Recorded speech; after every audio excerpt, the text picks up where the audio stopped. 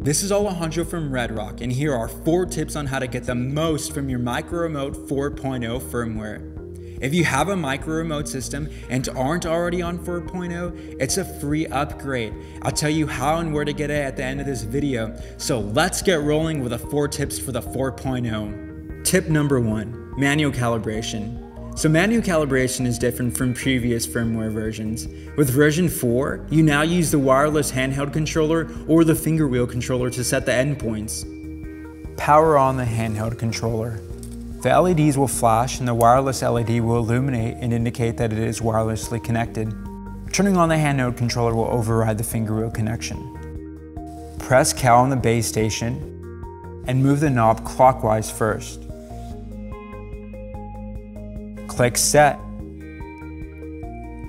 Now counterclockwise and click Set. Manual calibration is usually used to calibrate still photo lenses with relatively short focus throw. For cinema lenses or lenses with hard stops, use auto calibration. Tip number two, saving your lens calibration before powering down the micro remote. Now this can dramatically speed up your battery changes or when you power down for a break. When you power back up, the micro remote will remember the lens calibration and be ready to roll. Press and hold the set button until both red status LEDs blink on the base station. You can now power down the micro remote and change batteries or go to lunch. When you power back up, your lens will remain calibrated and this calibration is stored for one power cycle only. If you want to save the lens calibration on the next power down, you'll need to repeat these steps. Tip number three, automatic calibration can be now triggered from the handheld controller and here's how. Press and hold the camera button, then press and hold the direction button. Release both at the same time. Boom! Automatic calibration is initiated and done. Tip number four, using the micro remote gain.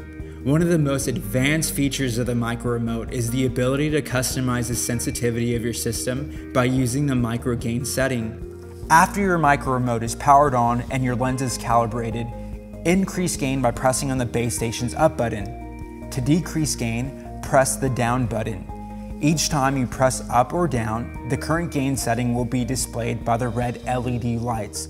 So for example, 3 blinks for gain setting of level 3 and 4 blinks for gain setting of level 4. If you find your micro remote acting jumpy or choppy, chances are you have set the gain too high. Dial it down. In the previous firmware versions, you increased the gain setting prior to calibrating stiff lenses.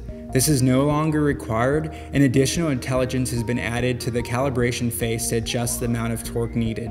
And that covers the four tips for the 4.0 firmware. I hope you all find these new features super handy and that they'll make your production go faster and more smoothly than before. If you don't already have the 4.0 firmware, it's a free update from Redrock. There are two options for updating, solo or combo. Just follow the directions and have your micro remote serial number handy to determine which update is the right one for you.